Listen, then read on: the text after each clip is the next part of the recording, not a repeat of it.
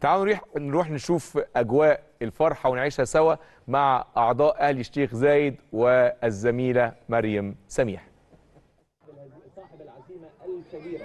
تحية كبيرة جدا لبيراميدز برحب بيك مرة تانية يا كابتن أيمن برحب بكل مشاهدي قناة الأهلي في كل مكان وطبعا يعني التحية موصولة لكل طبعا كباتننا الكبار في الاستوديو التحليلي. ألف ألف مبروك النادي الأهلي بطلا للسوبر المصري بعد التغلب على بيراميدز بنتيجة 1-0 طبعا من ضربة جزاء لنجمنا نجم النادي الأهلي علي معلول. طبعا من داخل فرع النادي الأهلي بالشيخ زايد فرحة كبيرة يعني بتعم على جماهير النادي من داخل الفرع النادي الأهلي بالشيخ زايد. قول بقى النهارده إيه رأيك في المباراه مباراة صعبة جدا قوية جدا غير ما توقعناها الحقيقة. رأيك إيه النهارده؟ مدرسة يعني سويسرية ومدرسة برتغالية ما بين كولر وباتشيكو. تقول إيه مباراة اليوم؟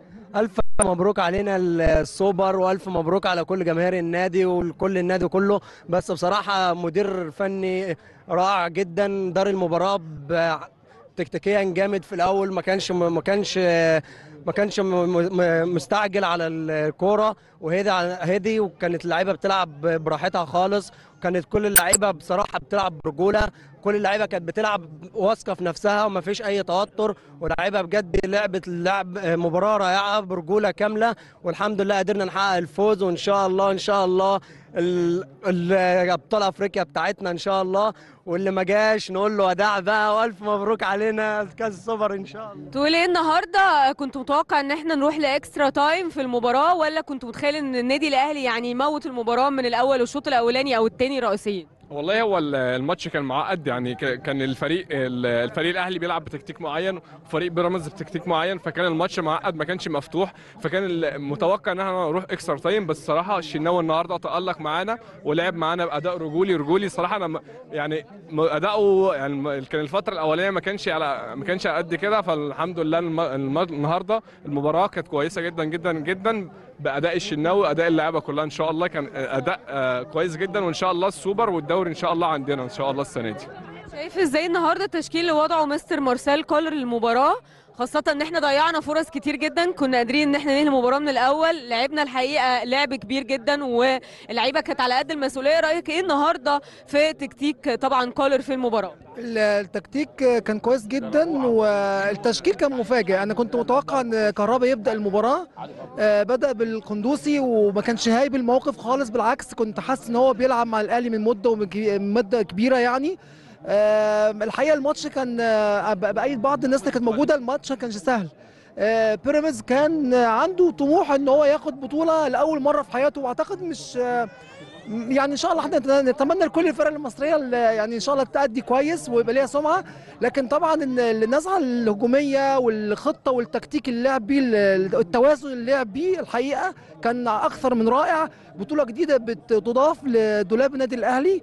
وألف ألف مبروك لحضرتك يا كابتن أيمن والنجوم الموجودين آه، كابتن محمود الخطيب رئيس النادي ومجلس الإدارة والجمهور الكبير اللي جوه النادي وبره النادي.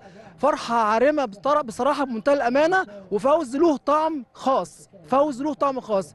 كل سنة وأنتم طيبين جميعا وألف مبروك لكل الأهلاوية. شايفين النهاردة يستحق man of the طبعا الشناوي لأن هو حارس عالمي وحارس قوي جدا بيدي فريق آه، الأسبقية للبطولة. النهارده عايزين نقول الأهلي كان حاضر بقوة قوة كبيرة جدا. الأهلي قادر يسعدك الأهلي قادر يفرحك.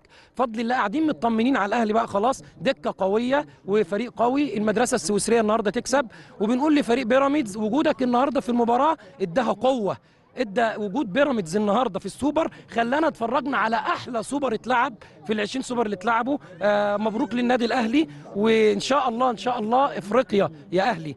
إحنا نادي الاهلي نادي كبير خلاص البطولة بنقفل صفحتها في ساعتها ونفتح الصفحة الجديدة. ونقول افريقيا يا أهلي مبروك لمجلس الإدارة بقيادة الكابتن الكبير محمود الخطيب بنحبه كأعضاء النادي ومبروك للاعيبتنا النهارده مبروك للمدير الفني مبروك لجمهور النادي الأهلي. رسالة توجهها لرجالة النادي الأهلي النهاردة بعد الفوز على بيراميدز الحقيقة فوز مستحق. عملوا مباراة آه، كبيرة جدا قدام نادي بيراميدز. رسالة توجهها لرجالة النادي الأهلي. بسم الله الرحمن الأول بسم الله الرحمن الرحيم. أحب أوجه التحية لجميع لاعبي الأهلي النهارده وخصوصا للكابتن الشناوي اللي ما خلاش ولا سقطة ولا لقطة. وأحب أبارك للكابتن محمود الخطيب وأقول له إدارة ناجحة إدارة ناجحة إدارة ناجحة. وإن شاء الله إن شاء الله أفريقيا للأهلي أفريقيا للأهلي بأمر الله تعالى. واللعيبة قد اللي عليهم بصراحه لعيبة الأهلي بالأجيال فاتت ما شفناش التواصل مع اللعيبة قوي أكتر من النهارده. وبقول للكهرباء كهرباء أنت مكهرب الدنيا كلها والناس كلها زعلانة منك يا كهرباء. انت مكهرب الدنيا كلها. تقول إيه النهارده الكابتن شناوي بعد ما تصدى الحقيقة لثلاث انفرادات حقيقية خلال المباراة؟ هو مش جديد على الكابتن محمد الشناوي. كابتن محمد الشناوي أحسن حارس في مصر أحسن حارس في أفريقيا. أحسن لاعب في أفريقيا مش أحسن حارس.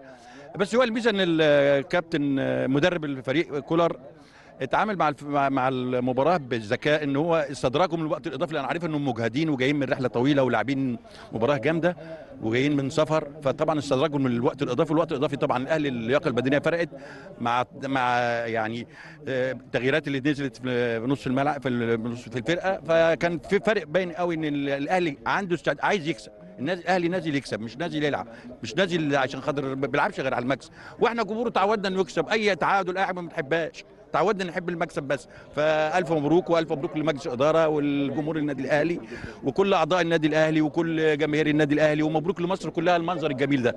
حاجة تفرح شكرا لحضرتك. طبعا يا كابتن أيمن زي ما أنت تابعت معانا دي كانت فرحة طبعا جماهير النادي الأهلي وأعضاء النادي الأهلي من داخل فرع النادي الأهلي بالشيخ زايد. شكرا ليك مرة تانية العودة ليك مرة أخرى وألف مبروك النادي الأهلي بطلا للسوبر المصري.